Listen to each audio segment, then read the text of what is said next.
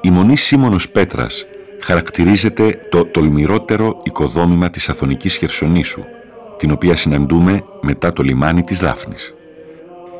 Η ίδρυσή της οφείλεται στον Όσιο Σίμωνα, που ασκήτεψε στα μέσα του 13ου αιώνα σε σπήλαιο κοντά στην Μονή, ο οποίος σε όραμα διείδε την μελλοντική της ανοικοδόμηση. Η κτηριακή της επέκταση πραγματοποιήθηκε με την πρόνοια του Σέρβου ηγεμόνα Ιωάννη Ούγκλεση, ο οποίος και εξέδωσε κτητορικό χρυσόβουλο κατά το 1368, ενισχύοντάς την με μετόχια και κοιμήλια. Το δυσπρόσιτο της θέσης της και η μορφολογία της απέτρεψε καταστροφές από πειρατές, αλλά δεν απέτρεψε τις καταστροφές από πυρκαγιές.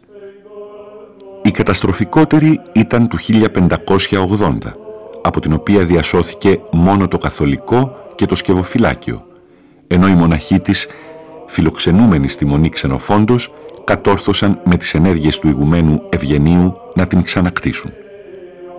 Το 1622 όμως, δεύτερη πυρκαγιά κατέστρεψε μέρος της Μονής Σίμωνος Πέτρας που την οδήγησε σε μαρασμό.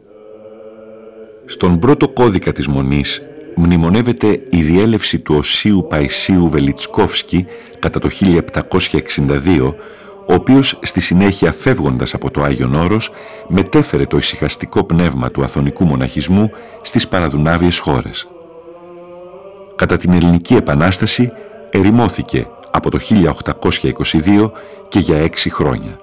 Επανασυστάθηκε από τον ιερομόναχο και αργότερα ηγούμενό της Αμβρόσιο.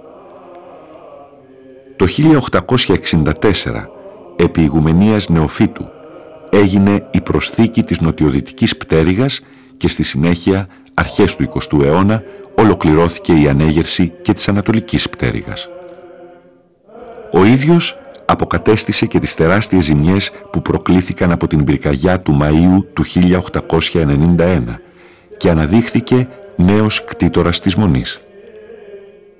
Τα νεότερα χρόνια και μέχρι το 1957 σηματοδοτήθηκαν από την πνευματική φυσιογνωμία του ιερομόναχου Ιερονίμου, ηγουμένου της Σίμωνος Πέτρας μέχρι το 1930.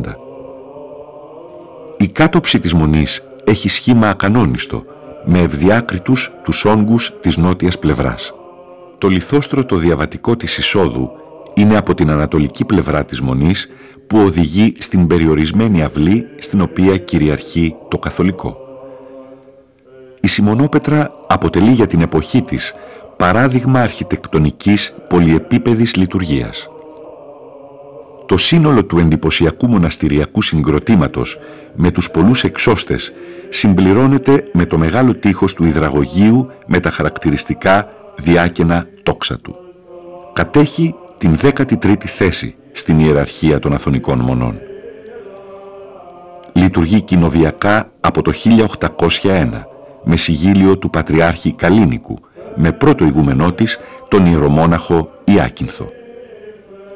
Η Μονή Σίμωνος Πέτρας έχει εξαρτήματά της έξι καθίσματα, έξι κελιά, εκτός εκείνου του αντιπροσωπείου των καριών, δύο ησυχαστήρια καθώς και τρία ιερά σπήλαια.